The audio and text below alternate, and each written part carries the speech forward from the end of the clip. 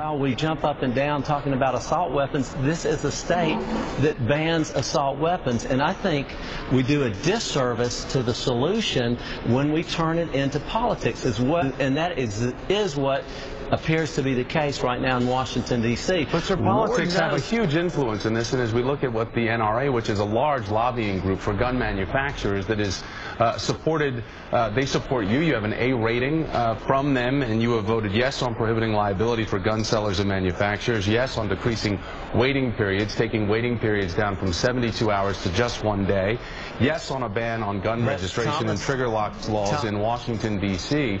So how can you say that politics are not involved with this when we look at a voting record right there where well, the NRA gives you an A and allowing for people like an Adam Lanza to have access to the weapons that he had. Because as we say, his mother might have had them legally, but we cannot police what his mother is doing inside that house to keep Lanza away from those weapons. Yes, and none of the policy issues which you just ticked off would have prevented Adam Lanza from doing this. And it is very sad that we want to cloud the issue by making NRA the policy as opposed to Adam Lanza and what triggers this off. Think about Germany for a minute. Germany in the last 10 years has had three mass shootings and they had the strictest gun control in the world, including psychological profiling.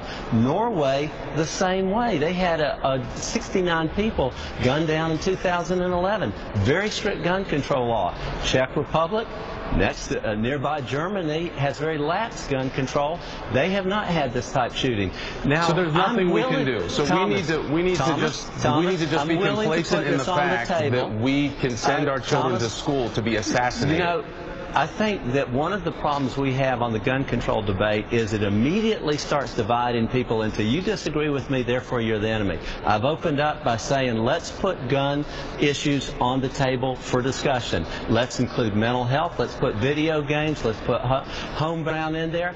And I think where there is some common ground, you could say the storage of weapons. But when we immediately start saying, well, you want this, therefore you, you dislike children or whatever, it's not productive to the debate. And I, I want to point out, I've been in Congress for a long time. I can tell you gun control debates are very, very difficult. But they always get clouded in the politics of partisanship. And I don't mean uh, Republican versus Democrat because this splits party lines, but I mean as pro-gun, anti-gun. I think if we want to have a reasonable discussion and address this, we have to look at what happened in Germany with all the gun control laws. It didn't prevent anything. What happened in Connecticut? Connecticut, the fifth toughest gun control laws in the country. It did not prevent anything. So what I'm saying is you can't just stop at guns. You have to look at mental health.